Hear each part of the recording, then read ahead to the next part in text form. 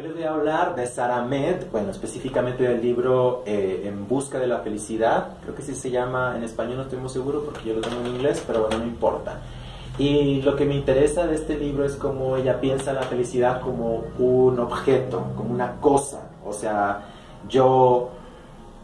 deseo ser feliz y ese, ese deseo de felicidad está, pega, está pegado, digamos, o vinculado a un, a un objeto, a un recuerdo, a un, tipo de relación a la cual quiero llegar, ¿no? Y también piensa la felicidad como algo que se puede heredar o traspasar, como los padres les heredan a los hijos su deseo de felicidad, que puede ser un deseo de felicidad para ellos, ellas, pero condicionado a que hagan lo que sus padres piensan que es correcto o lo que sus padres piensan que se debe hacer para alcanzar la felicidad. Y también ella piensa eh, en este libro cómo las feministas ¿no? Eh,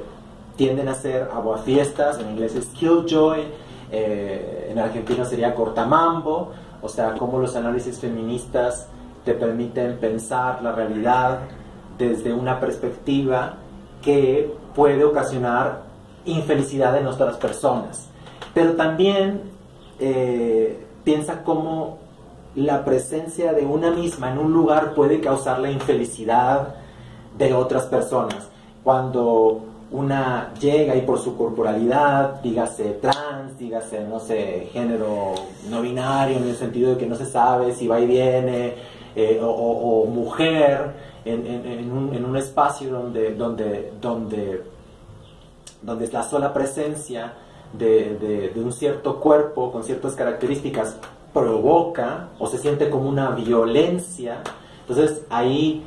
también juega esta idea de la felicidad como una forma de exclusión en ciertos espacios para que no vayan ciertas personas o para que en ciertos espacios no se hable de ciertas cosas y no se rompa toda esa,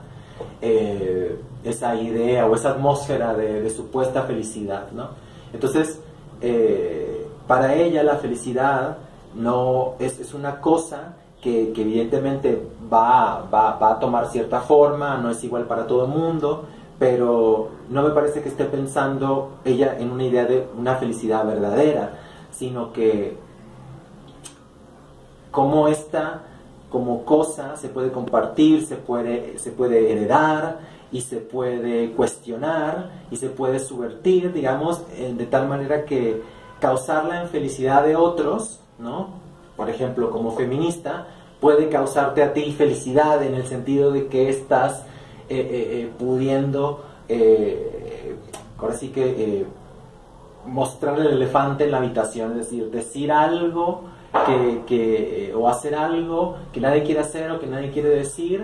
para no molestar, no perturbar el, ambiente, pero que tú sabes que, se debe de decir, que se debe de, denunciar, que se debe de hacer presente, entonces, y que al hacerlo vas a incomodar, pero bueno, que es necesario. Entonces, para dejarte, más bien, buscar la felicidad y la búsqueda de la felicidad en sí no es ni mejor ni peor que la búsqueda a lo mejor de otro tipo de emociones que,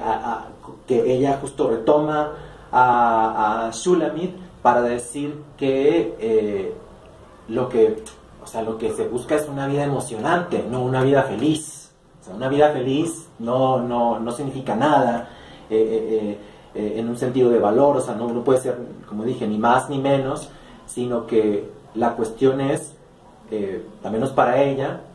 lo, buscar algo excitante, algo que emocione y que, y que no, no tiene nada que ver con la felicidad.